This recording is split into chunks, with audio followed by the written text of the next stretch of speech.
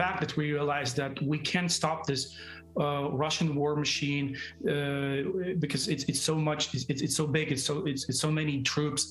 So we decided to fight on the economic and the digital front because we believe that uh, if we stop uh, taxpayers paying uh, money to government which which they spend not to develop their infrastructure not to build schools not to build hospitals not to build roads but they use this money to invade their neighbors to threat uh, all the European countries in the in, in the world. So we have to stop money flows to Russia.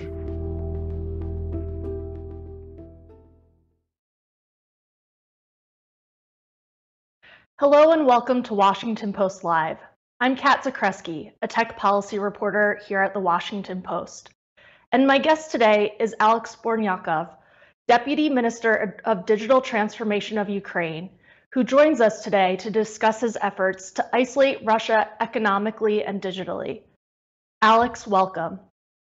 Hi, everyone. Thank you. Thank you so much for being here today. And, and remember, we always want to hear from you, our audience. You can share your thoughts and questions for guests on Washington Post Live by tweeting at Post Live. Um, we have a lot to cover today, but first, Alex, can you tell us where you're calling from? Well, I'm in Ukraine, in the western part, but um, unfortunately, I can't disclose my exact location for the safety reasons. Of course. And can you tell me a little bit more about how you're staying online right now? How are you keeping an internet connection with everything going on? Well, well, first of all, you all should be aware of the fact that Ukraine is, is a big country. And if you look on the map on of invasion, you can see that from the eastern part, they advanced uh, maybe like 15% of Ukrainian territory. There, there were a lot, lot of troops near the Kiev, so this, it was really difficult. It was really difficult time. But now they uh, flee flat, and uh, uh Kiev is, is breathing. Uh, so um, the cell reception in Ukraine is generally okay. There might be some problems in in, in some areas around Kiev, um, in western part, it's it's totally okay. Um, what do we experience from the internet traffic standpoint? That maybe it's just a little bit slower than it was usual before the war, but in, in general, like everything is working. Of course, uh, it? there's war zone, there is no coverage, and and uh, and the cell reception is bad, and sometimes it's just absent. But uh, generally, we just have all almost a similar uh, level of uh, connectivity as before. I see. And I know when I talked to your colleague, Minister Fedorov, he was speaking with me on a Starlink connection. Have you personally been using the Starlink satellites as well? Yeah, yeah. Um, well, for the uh, during the first day uh, when we were moving, there was really bad internet, and, and uh, as I mentioned before, the first day it was uh, it was messy and it was hectic. So we were moving, and and uh, once we received the first satellite, we set it up, and uh, the speed is really great, and, and the connection is good. Now I know the lot, like thousands of Starlinks in, in, Ukraine being used for different purposes, even in a war zone. Um, but my personal experience that the service is great. And can you tell me a little bit more about how Ukraine has been using these Starlinks? Um, I read that hundreds have been deployed to keep hospitals online. What are some of the other ways these satellites are being used? Uh, well, at first we were supplying them to, to the, the places where situation is really difficult, like Chernihiv, uh, like Kharkiv, uh, eastern part of Ukraine, even Mariupol. So. Um, so there was uh, th- there was need from from from military first and hospitals, uh, but then we started to give them out to some enterprises because we need business running. We need companies to work even in cities where it's in close proximity from uh, from Russian troops, and uh, we we know where the situation is difficult, and that and there we focus our efforts. So right now it's more than 10,000 units in Ukraine. So we're able to spread them uh, equally and fulfill not just basic needs, but also to to, those who are as I mentioned before, con- want to conduct business, and this business is uh, international or it requires instant communication. To ask you a little bit more about how it's how those devices are being used, particularly in conflict. There was some concern initially that having these satellites could potentially create new safety risks that people would be able to see where the satellites are, and that would give away the location of troops or civilians. What steps are you taking to mitigate those safety risks? Well, first of all, they're really small, and it's it's really hard to identify them. Second, uh, I'm not sure, but uh, I can't be 100% sure, but I don't think Russians are able to trace them um, because they haven't been aware of this technology, and I think their their equipment not adjusted to trace Starlinks. Um, maybe something is going to change uh, because it's war and everything is changing rapidly. But um, I, I know that there was no cases and there was no evidence when there was uh, some uh, situation where uh, using Starlink was was a threat for someone in, near battlefield. And uh, the, the variety of options uh, on, on how they're using Starlink is broad. Starlink is broad. Um, surveillance, uh, even our like uh, soldiers uh, on the mission, they they if they uh, spot some I don't know activities on the battlefield, they they're using Starlinks to get the surveillance back this data get back because there is no other option. Uh, communication is not working, and they're happy about it. Really. And are you taking any precautions to uh, secure these Starlinks? Um, any extra steps to ensure that, for instance, they're not subject to Russian cyber attacks? Well, first of all, all serial numbers of all devices that we give give out are they uh, they noted, and if if there's if, if there's no uh, uh, connection from people who receive them and they're using them in difficult circumstances, uh, and we haven't gotten any confirmation that this device uh, is uh, in or in our hands, we just block them on our side. So even if it for some reason was lost or uh, someone just left it and it's in the possession of Russian troops, it's it's being blocked, so they can't use it. So it's just piece of metal for them. I see, and I want to shift gears now to the digital blockade. Um, your office has been erecting this digital blockade to isolate Russia, both digitally and economically. Can you tell me a little bit about where that idea originally came from? Well, this idea belongs to Mikhail Fedorov uh, because uh, when it all started, we wanted to. Uh, well, we were actually really shocked about this, and uh, I wouldn't say I was prepared for that. Uh, neither my colleagues or friends. Uh, well, we were expecting some movement, and maybe there there might be. We we thought we thought that it might be some actions on the eastern part, but we didn't expect this would be so massive.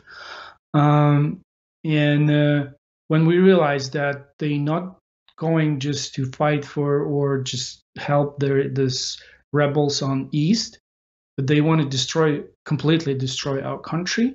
This is where this idea came up because we realized that we fight for not just for you know life of our soldiers, but we, we, we fight for for our nation, for our existence of the nation of Ukraine.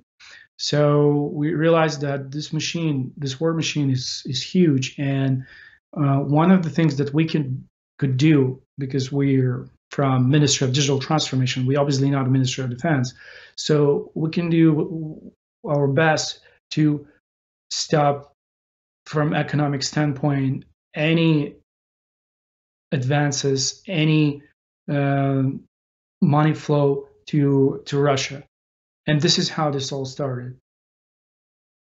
Can you walk me through the early hours of this? I mean, it was within 48 hours of the initial invasion that we saw your office come out with public letters to Apple CEO Tim Cook and other major American tech companies. What was that experience like for you as you were dealing with, as you just described, a, a surprising situation to so quickly move into gear like that? Well, I think that it's it's like instinct. If you want to survive, you have to act. You can't just lay down. Um, we had um, a number of connection with uh, big tech companies before the war, so it wasn't just uh, purely from scratch, just trying to reach out to them.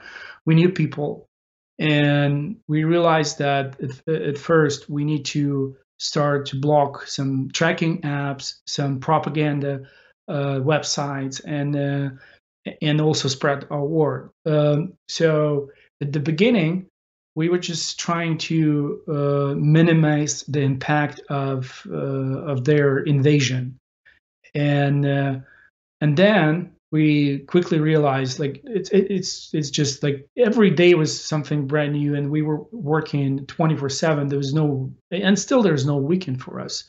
Uh, we're just moving day after day after invasion started, and uh, uh, on the second day, we basically realized that we need to reach out to them to not just for to help us uh, figure out specific tasks um, and help with their help with militaries or help with uh, regular people because this was was also a task. Like I remember on the second day, it turned out that uh, they check Google or Waze uh, and they because they can see where there is a traffic jam on the on, on the digital map. I mean, on Google Maps or Waze or other maps, and they can strike there. So we reached out to them, asked them to just disable this functionality temporarily, so no one's going to see that. There's uh, other uh, a number of other issues like with Google Maps, with their uh, with other communication services, and uh, uh, those ideas were also coming up from from our, uh, from our people because they were uh, also uh, um, like con- con- contacting us and telling uh, about different issues that they f- face. so so yeah, so this is this was really horrible and, and still it's it, it, it's now it sounds like more like a distant memory, but now I realize this is just 40 days ago um, because there's so much stuff happening every hour and you uh, wake up every morning and you check your and then you see it in the night it was so many news about that like bombing shelling rocketing people dying. So and and you have to adjust really quick. It's it's it's not comparable with the peaceful times uh, when you you can make plans you can do this long term mid term but during the war, it, it's it's really you know your goal, but uh, the way you're moving to this goal, you have to adjust every couple hours. What's motivating you to keep your focus on that goal and moving toward that goal right now? Well, uh, the mo- the major motivation is to stop those military actions because every day our people are dying and it's it's very sad and it, it breaks my heart uh, because there those are children, those are women, and uh, and many men, of course. Um, also, it's it's it's really hard to observe like they destroying our country, our country infrastructure, and uh, um, during the last couple of years, Ukraine advanced a lot from infrastructure standpoint. There's uh, thousands of kilometers road built new hospitals, new stadiums, and now it's being destroyed through, through entire country. So every time I see um, like a building, residential or commercial building, like uh, roads that they completely destroyed with their tanks and um, and enterprises that and businesses that were people were building for their entire life, and then in, in, in, in a moment it's just gone. It's it's a motivation to do whatever we can do to stop this right away.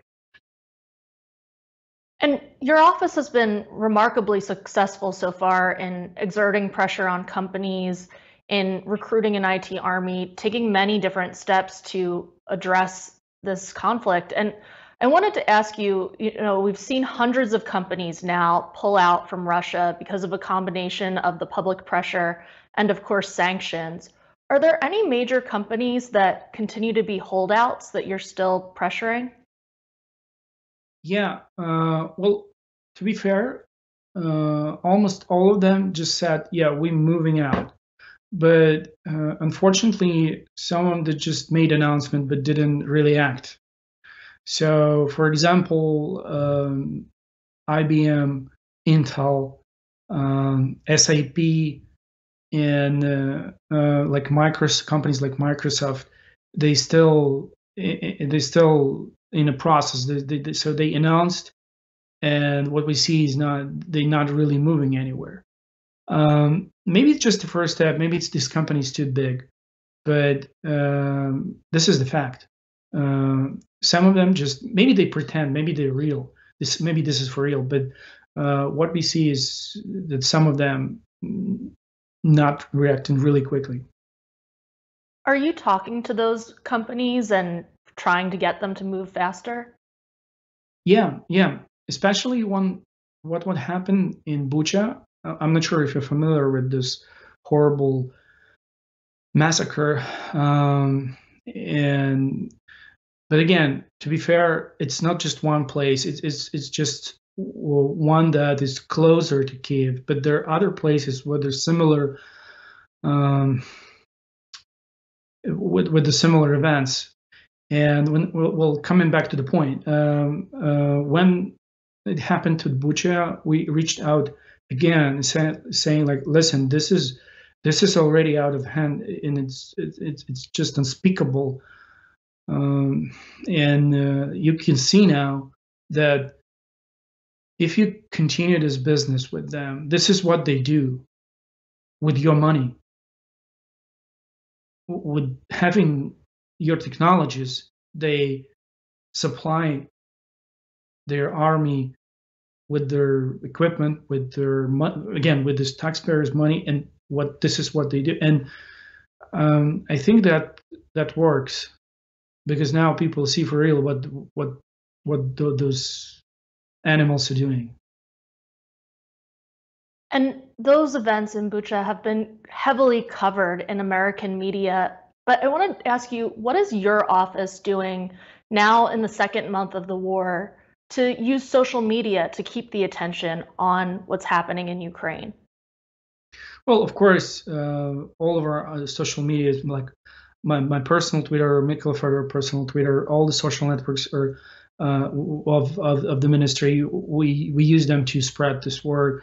Also, there there are a number of activities on the media front that we um, running, uh, especially to Russian citizens, because we still believe that they have to know the opposite point of view, because all they know is that uh, we kill ourselves. Like I'm literally, it's literally what they're telling their people that we shot um, our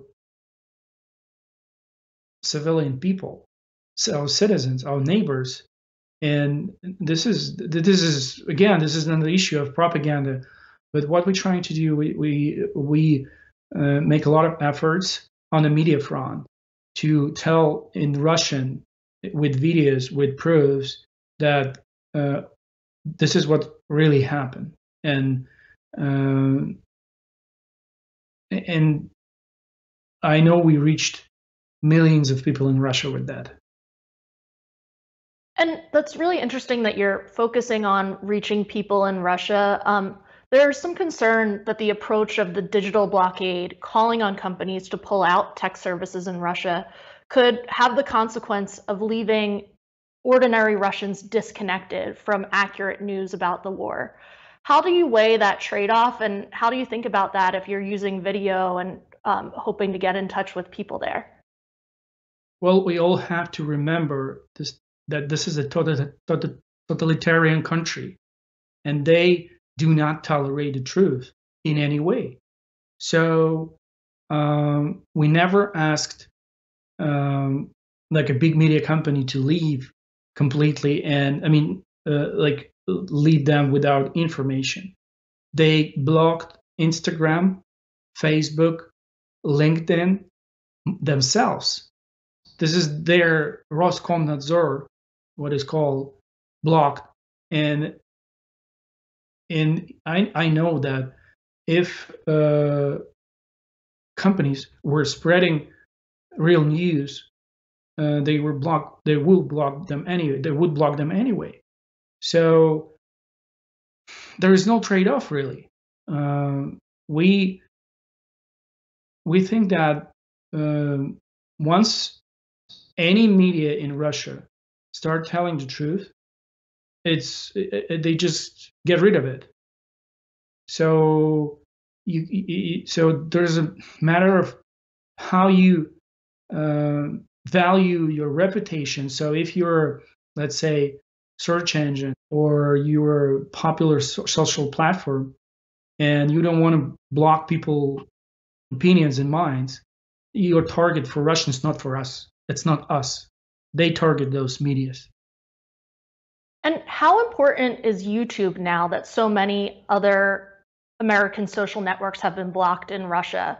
Is that one of the key channels that you're using to get out your message there? Yeah, yeah, it's one of the key channels.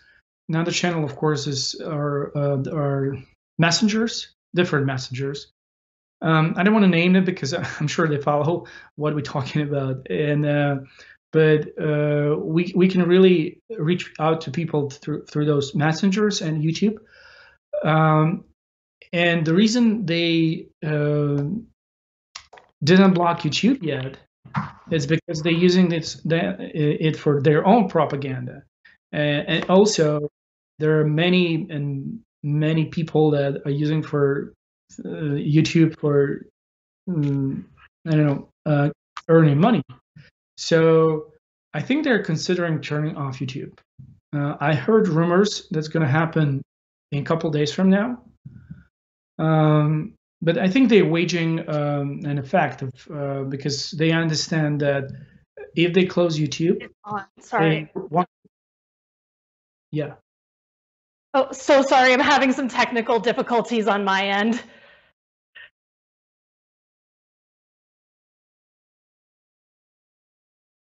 Sure. I'm so sorry. And yes, if you could just continue explaining how you're using YouTube, then I, I really apologize on my end. I just was having some issues with my camera.